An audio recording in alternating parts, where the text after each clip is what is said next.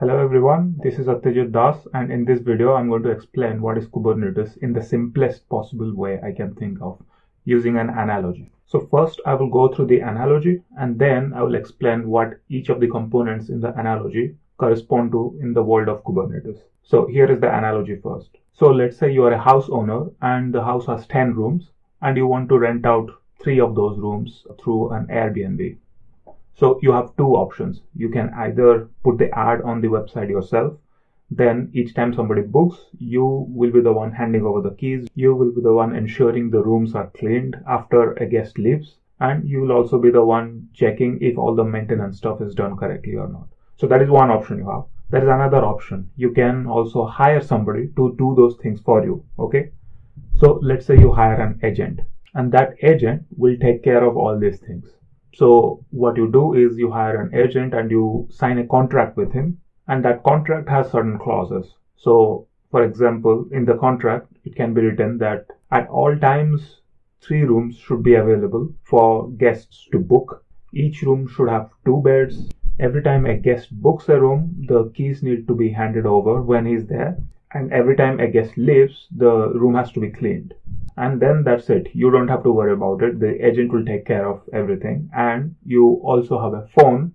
And whenever you want to check on what's going on you can always call the agent. So now what the agent will do is he has his employees to take care of these requirements.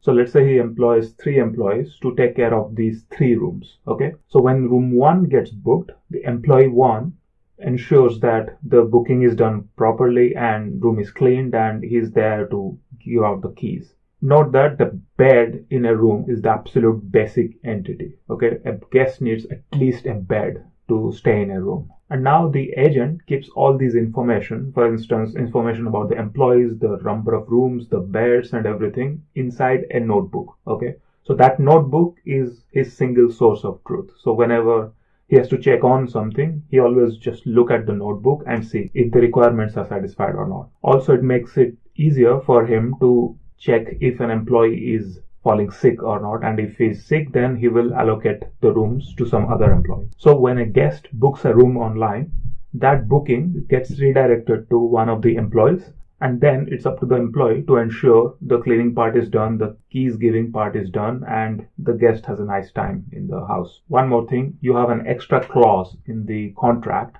with the agent such that in the event of if there is a lot of bookings, then he can extend these three rooms on, up until 10 rooms because the house has 10 rooms. So if there is a lot of requirement, then the supply can be extended. So, so far all these things sound simple, right? So overall, what you did was you achieved some sort of automation on your business by employing this agent. And then the agent employs his own employees and they, they take care of all the other things and you don't have to worry about anything else. So just like the agent and his employees and his whole, whole ecosystem were able to achieve some sort of automation for the house owner, similarly, Kubernetes and its ecosystem is able to achieve an automation for an app owner. So the analogy part is over now. I will come to the real world scenario. So let's say you are an app developer, just like the house owner. Let's start from the most basic entity, that is the bed in a room. Okay, so the bed is the absolute minimum requirement for any guest. Similarly, when your application runs, it has to run somewhere and it runs in a container okay and just like no bed is going to be outside of the house right the bed has to be inside a room similarly a container has to be inside something called a pod. So inside a pod your application actually runs. And the pods run inside something called nodes or worker nodes.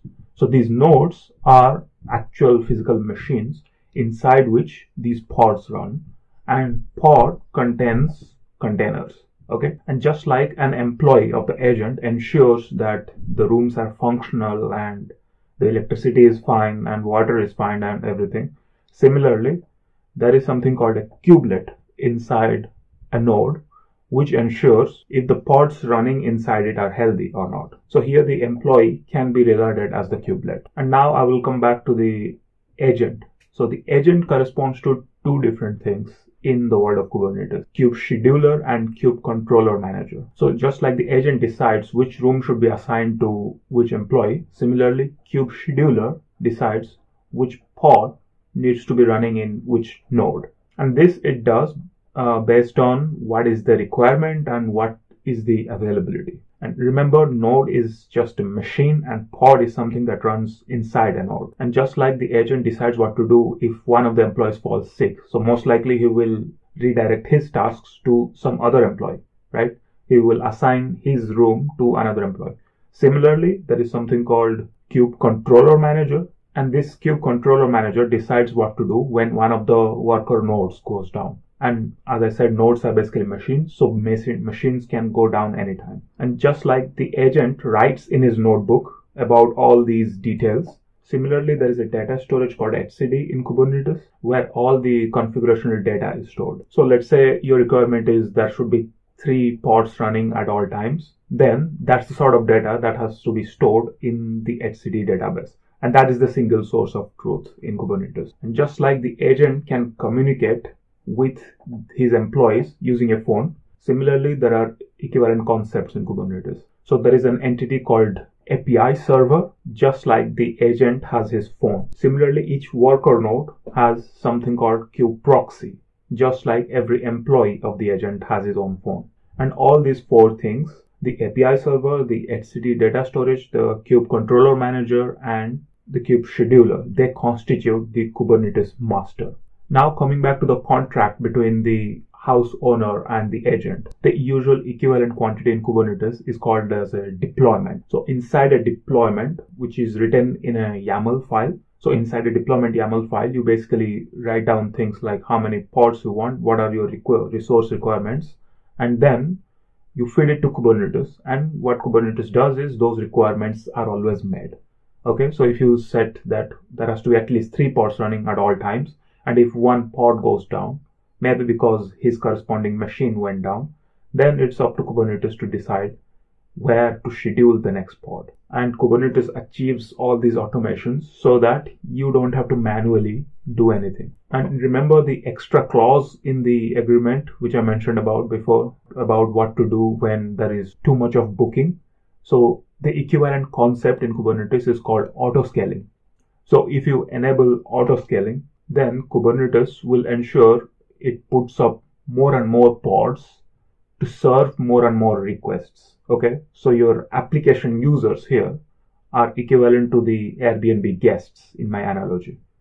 So if lots of users try to use your application at the same time, then if you have turned on the auto scaling, then Kubernetes will scale accordingly by putting more pods. And this is something that can also be configured based on your scaling requirements. So you may want to scale based on number of pods. You may also want to increase the resources of each pod. By resources here, I mean the CPU and the memory usage. And of course, you have to put some sort of cap in the auto scaling because you know you can't arbitrarily increase your resources because you don't have infinite amount of money, right? Just like the house has only 10 rooms, so it can only accommodate 10 requests at max. So this is a very brief overview of Kubernetes using a real world analogy. There are plenty of other concepts that need to be covered as well, but this should give you a decent starting point if you're an absolute beginner. You can check out the links below to get further knowledge on this topic.